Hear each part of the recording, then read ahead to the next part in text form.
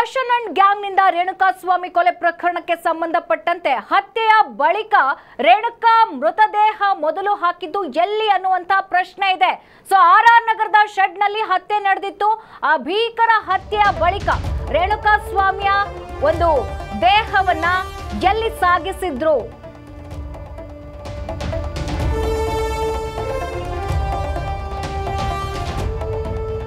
ದರ್ಶನ್ ಮತ್ತು ಗ್ಯಾಂಗ್ನಿಂದ ರೇಣುಕಾ ಸ್ವಾಮಿ ಕೊಲೆ ಪ್ರಕರಣಕ್ಕೆ ಸಂಬಂಧಪಟ್ಟಂತೆ ಹತ್ಯೆಯ ಬಳಿಕ ರೇಣುಕಾ ಮೃತದೇಹ ಮೊದಲು ಹಾಕಿದ್ದು ಎಲ್ಲಿ ಗೊತ್ತಾ ಹಾಗಿದ್ರೆ ಆರ್ ಆರ್ ನಗರ ಶೆಡ್ನಲ್ಲಿ ನಡೆದಿತ್ತು ರೇಣುಕಾ ಸ್ವಾಮಿಯ ಭೀಕರ ಹತ್ಯೆ. ಹತ್ಯೆಯ ಬಳಿಕ ಶವವನ್ನ ಮೊದಲು ಹಾಕಿದ್ದು ಸೆಕ್ಯೂರಿಟಿ ರೂಮ್ನಲ್ಲಿ. ಸೆಕ್ಯೂರಿಟಿ ರೂಮ್ನಲ್ಲಿ ಮೃತದೇಹವನ್ನ ಎಸೆದಿದ್ರು ಆರೋಪಿಗಳು ಮೊದಲಿಗೆ ಮೃತದೇಹ ಸಾಗಿಸುವವರೆಗೂ ಸೆಕ್ಯೂರಿಟಿ ರೂಮ್ನಲ್ಲಿತ್ತು ರೇಣುಕಾ ಸ್ವಾಮಿಯ ಮೃತದೇಹ. ಮೃತದೇಹ ಸಾಗಿಸುವವರೆಗೂ. ಸಡನ್ ಆಗಿ ಮೃತದೇಹವನ್ನ ಸಾಗಿಸಿಲ್ಲ, ಅವರಿಗೂ ಕೂಡ ಭಯ ಸ್ಟಾರ್ಟ್ ಆಗಿತ್ತು. ಎಲ್ಲಿ ಸಾಗಿಸಬೇಕು, ಹೇಗೆ ಹಾಕಬೇಕು, ಈ ಒಂದು ಪ್ರಕರಣವನ್ನ ಹೇಗೆ ಮುಚ್ಚಾಕಬೇಕು, ಅವೆಲ್ಲವೂ ಕೂಡ ಟೆನ್ಷನ್ ಇರುತ್ತಲ್ವಾ? ಸೊ ಭಯದಿಂದಾಗಿ ಮೊದಲಿಗೆ ಮೃತದೇಹವನ್ನ ಶಿಫ್ಟ್ ಮಾಡಿದ್ದು ಸೆಕ್ಯೂರಿಟಿ ರೂಮ್ಗೆ ಖಾಕಿ ತನಿಖೆ ವೇಳೆ ಸೆಕ್ಯೂರಿಟಿ ರೂಮ್ನಲ್ಲೂ ಕೂಡ ರಕ್ತದ ಕಲೆಗಳು ಪತ್ತೆಯಾಗಿದೆ. ಹಾಗಾಗಿ ಸೆಕ್ಯೂರಿಟಿ ಗಾರ್ಡ್ನ ವಿಚಾರಣೆ ನಡೆಸಿದ್ದಾರೆ ಪೊಲೀಸರು. ರೇಣುಕಾ ಕೊಲೆ ಸಂಬಂಧ ಶೆಡ್ ಸೆಕ್ಯೂರಿಟಿಯ ಹೇಳಿಕೆ ಕೂಡ ದಾಖಲು ಮಾಡಿಕೊಳ್ಳಲಾಗಿದೆ. ಜಡ್ಜ್ ಮುಂದೆ ಸಿಆರ್ಪಿಸಿ ನೂರ ಅರವತ್ನಾಲ್ಕರ ಹೇಳಿಕೆಯನ್ನ ಪೊಲೀಸರು ದಾಖಲಿಸಿದ್ದಾರೆ. ಸೆಕ್ಯೂರಿಟಿ ಗಾರ್ಡ್ ಹಿಂದಿ ಭಾಷೆಯಲ್ಲಿ ಮಾತನಾಡಿದರೆ ಕನ್ನಡ ಬರೋದಿಲ್ಲ. ಚಾಮರಾಜಪೇಟೆ ಮುರಾರ್ಜಿ ಶಾಲೆಯ ಪ್ರಾಂಶುಪಾಲರಿಂದ ಭಾಷಾಂತರವನ್ನ ಮಾಡಿಸಿ ಜಡ್ಜ್ ಮುಂದೆ ಸಿಆರ್ಪಿಸಿ ನೂರ ಅರವತ್ನಾಲ್ಕರ ಹೇಳಿಕೆಯನ್ನ ದಾಖಲಿಸಲಾಗಿದೆ. ಪೊಲೀಸ್ ರಿಮ್ಯಾಂಡ್ ಅರ್ಜಿಯಲ್ಲಿ ಶವ ಎಸೆದ ಬಗ್ಗೆ ಉಲ್ಲೇಖವನ್ನ ಮಾಡಲಾಗಿದೆ.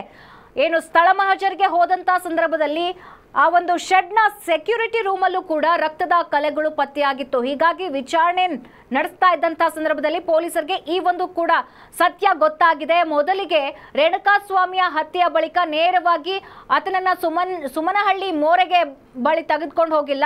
ಬದಲಾಗಿ ಆತನನ್ನ ಸೆಕ್ಯೂರಿಟಿ ರೂಮಲ್ಲಿ ಆ ಒಂದು ಶವವನ್ನ ಇರಿಸಲಾಗಿತ್ತು ಅನ್ನುವಂತ ಮಾಹಿತಿ ಲಭ್ಯವಾಗಿದೆ. ಈಗಾಗಲೇ ಏನು ಸೆಕ್ಯೂರಿಟಿ ಗಾರ್ಡ್ ಏನಿದ್ದಾನೆ? ಆ ಶೆಡ್ನ ಸೆಕ್ಯೂರಿಟಿ ಗಾರ್ಡ್ ನೂರ ಅರವತ್ನಾಲ್ಕು ಹೇಳಿಕೆಯನ್ನು ಈಗಾಗಲೇ ಜಡ್ಜ್ ಮುಂದೆ ದಾಖಲಿಸಿರುವಂಥದ್ದು.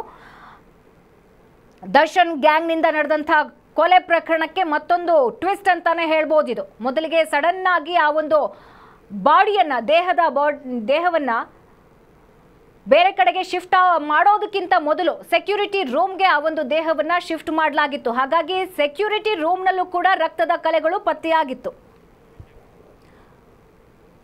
ಎಸ್ ಈ ಕುರಿತಂತೆ ಹೆಚ್ಚಿನ ಅಪ್ಡೇಟ್ಸ್ ಕೊಡ್ತಾರೆ ನಮ್ಮ ಪ್ರತಿನಿಧಿ ಅಭಿಷೇಕ್ ದೂರವಾಣಿ ಸಂಪರ್ಕದಲ್ಲಿದ್ದಾರೆ. ಅಭಿಷೇಕ್, ಇಲ್ಲಿ ಮೇಜರ್ ಟ್ವಿಸ್ಟ್ ಒಂದು ಸಿಕ್ಕಿದೆ. ರೇಣುಕಾ ಸ್ವಾಮಿಯ ಕೊಲೆಯ ನಂತರ ಆತನ ದೇಹವನ್ನ ಸುಮನಹಳ್ಳಿ ಮೋರೆಗೂ ಸಾಗಿಸೋದಕ್ಕೂ ಮೊದಲು ಆತನ ದೇಹವನ್ನ ಬೇರೆ ಕಡೆ ಶಿಫ್ಟ್ ಮಾಡಲಾಗಿತ್ತು ಅಂತ. ಇದೀಗ ಸೆಕ್ಯೂರಿಟಿಯನ್ನು ಕೂಡ ತೀವ್ರ ವಿಚಾರಣೆಗೆ ಒಳಪಡಿಸಿರುವಂತದ್ದು.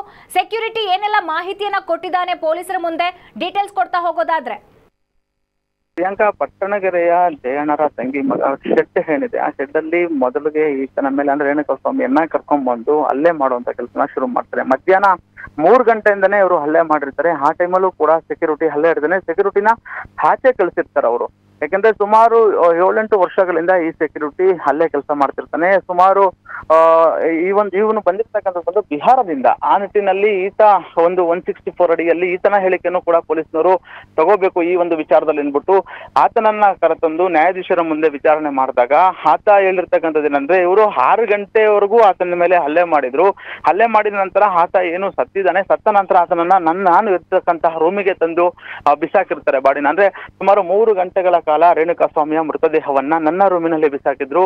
ಆ ನಂತರ ಅವರು ಬಂದು ಕಾರಿನಲ್ಲಿ ಆತನ ಬಾಡಿಯನ್ನ ಎತ್ತಾಕೊಂಡು ತಗೊಂಡು ಹೋಗಿದ್ದಾರೆ ಅಂತ ಹೇಳಿಕೆ ಕೊಟ್ಟಿರ್ತಕ್ಕಂಥದ್ದು. ಅಂದ್ರೆ ಈ ನಿಟ್ಟಿನಲ್ಲಿ ಸೆಕ್ಯೂರಿಟಿ ಹೇಳಿಕೆಯನ್ನ ಪಡ್ಕೊಂಡಿರ್ತಕ್ಕಂತ ಪೊಲೀಸ್ನವರು ಇದಕ್ಕೂ ಮುಂಚೆ ಆ ಒಂದು ಶೆಡ್ನಲ್ಲಿ ಯಾವ್ದಾದ್ರು ಸೆಟಲ್ಮೆಂಟ್ ವಿಚಾರಗಳು ಬಂದಾಗ್ಲೂ ಕೂಡ ಕರ್ಕೊಂಡ್ ಬಂದ್ರು ಇದ್ರು, ಮತ್ತೆ ಹಲ್ಲೆ ಮಾಡ್ತಾ ಇದ್ರು ಅಂತ ಹೇಳಿಕೆಯನ್ನ ಕೂಡ ಕೊಟ್ಟಿರ್ತಕ್ಕಂಥದ್ದು. ಆದ್ರೆ ಡಿ ಗ್ಯಾಂಗ್ ರೇಣುಕಾ ಸ್ವಾಮಿಗೆ ಮಾತ್ರ ಅಲ್ಲ, ಇದಕ್ಕೆ ಮುಂಚೆನೆ ಅವರ ವಿರುದ್ಧ ಯಾರಾದ್ರೂ ಮಾತಾಡಿದ್ರೆ ಅಥವಾ ಅವ್ರ ಹತ್ರ ಹಣ ತಗೊಂಡಿದ್ರೆ, ಅವರ ಜೊತೆ ಜಗಳ ಆಡ್ಕೊಂಡಿದ್ರೆ, ಇವು ಈ ಒಂದು ಗ್ಯಾಂಗ್ ಆತನನ್ನ ಕಿಡ್ನಾಪ್ ಮಾಡ್ಕೊಂಡ್ಬಿಟ್ಟು ಇದೇ ಶೆಡ್ಡಿನಲ್ಲಿ ಹೊಡೆದು ಹಲ್ಲೆ ಮಾಡ್ತಿದ್ರು ಅಂತ ಈಗ ಸೆಕ್ಯೂರಿಟಿ ಹೇಳಿಕೆ ಏನ್ ಕೊಟ್ಟಿದ್ದಾನೆ, ಅದನ್ನು ಕೂಡ ಒನ್ ಸಿಕ್ಸ್ಟಿ ಫೋರ್ ಅಡಿಯಲ್ಲಿ ಒಂದು ಸಾಕ್ಷಿಯನ್ನ ರೀತಿಯಲ್ಲಿ ದಾಖಲೆ ಮಾಡ್ಕೊಂಡಿದ್ದಾರೆ.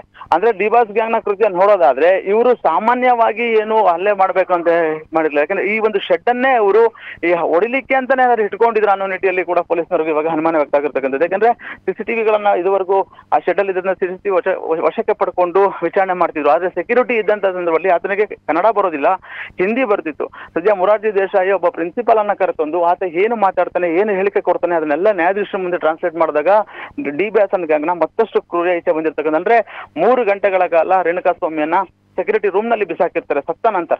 ಆ ನಂತರ ಇವರು ಕಾರ್ನಲ್ಲಿ ಅದನ್ನ ಹಾಕೊಂಡು ತಗೊಂಡ್ಬಂದು ಸುಮ್ನಳ್ಳಿ ಮೋರಿ ಹತ್ರ ಹಾಕಿರ್ತಕ್ಕಂಥದ್ದು. ಹಾಗಾಗಿ ಸೆಕ್ಯೂರಿಟಿಯನ್ನು ಕೂಡ ಒಂದು ಭಾಗವಾಗಿ ಸಾಕ್ಷಿಯನ್ನ ಮಾಡಿಕೊಂಡು ಸದ್ಯ ಪೊಲೀಸರು ತನಿಖೆನ ಮುಂದುವರಿಸ್ತಾ ಇದ್ದಾರೆ ಪ್ರಿಯಾಂಕಾ. ಧನ್ಯವಾದಗಳು ನಿಮ್ಮೆಲ್ಲ ಡೀಟೇಲ್ಸ್ಗೆ